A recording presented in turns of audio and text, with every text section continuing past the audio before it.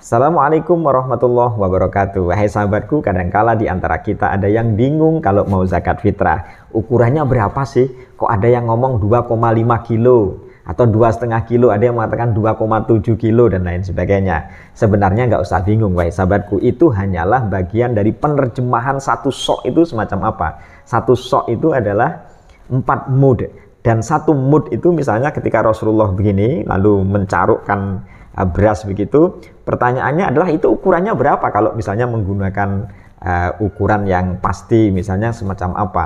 Lalu para ulama berbeda pendapat.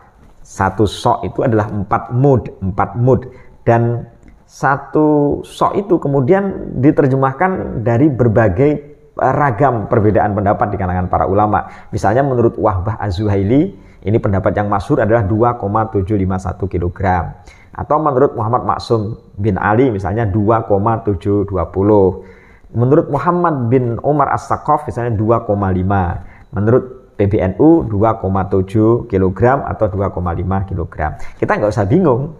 Kita berikan sesuatu yang terbaik ada minimal ada tengah-tengah yang tidak menjadi perdebatan misalnya 2,7 kita eh, kita serahkan saja kepada yang berhak kepada orang-orang fakir kepada orang miskin itu 2,7 kg beras. Gitu aja ya kilogram beras. Jadi nggak usah bingung kita berikan yang terbaik. Atau misalnya kita mau lebihkan menjadi tiga karena ada sebagian ulama itu yang menakar satu mud. Jadi ada ukuran satu mud itu ada yang 2,9 ada yang tiga lebih gitu ada tiga kilo lebih itu. Jadi kalau misalnya mau amat ya tiga lah gitu.